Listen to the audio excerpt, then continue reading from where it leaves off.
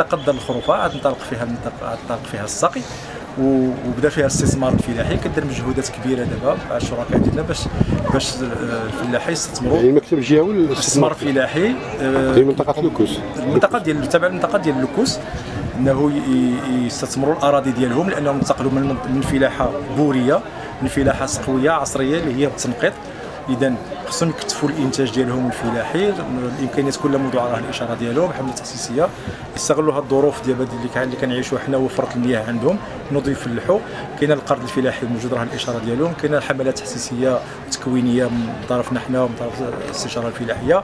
وكاين جميع المدخلات من هيئة موجودة. كاين المجمعين اللي كيدوروا في المنطقة خاصة الزراعة السكرية باش نطلعوا نسبة ديال الاستثمار في القطاع السقوي الانواع ديال الزراعات اللي كاينة دابا الانواع الزراعات كاين الخضار كاين الزراعه السكرية الشمندر القصب السكري كاين الخضار آه بالطيخ كاين الزراعات العلفيه حتى هي المايس الذره كاين مجموعه ديال ديال ديال ديال كاين زراعات جديدة الاشجار بحال لافوكا دخلات كاين الرمان حتى هو كذلك.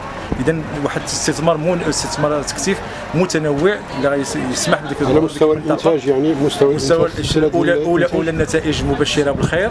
كانت كانت نتائج مبشرة. وإن شاء الله حنا كنطمحوا للمزيد.